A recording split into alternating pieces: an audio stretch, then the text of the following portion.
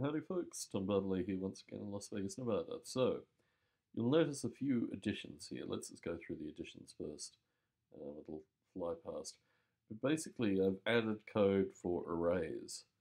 Um, both arrays as globals and arrays within functions, and um, test code around that, uh, constants within functions, um, that kind of stuff, basically.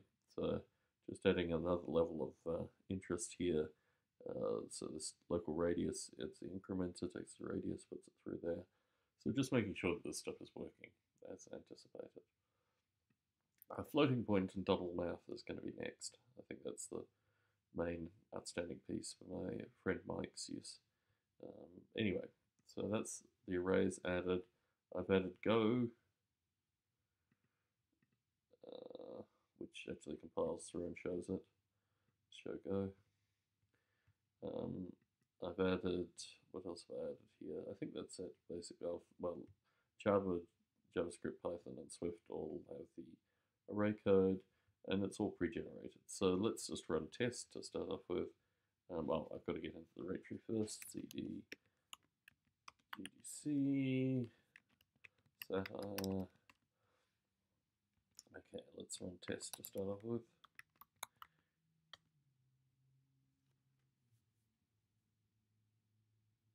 There we go. Went through all of that, and let's run build. And hopefully, I think this will build the array code.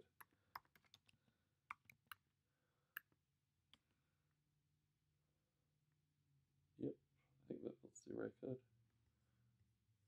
See. Yep. So you've got all these new files with the array code. And let's just show these for the sake of showing them. It also runs tests on them to make sure that they actually output. But here we have the uh, Python. Green local radius code, incrementing it. The Java, similarly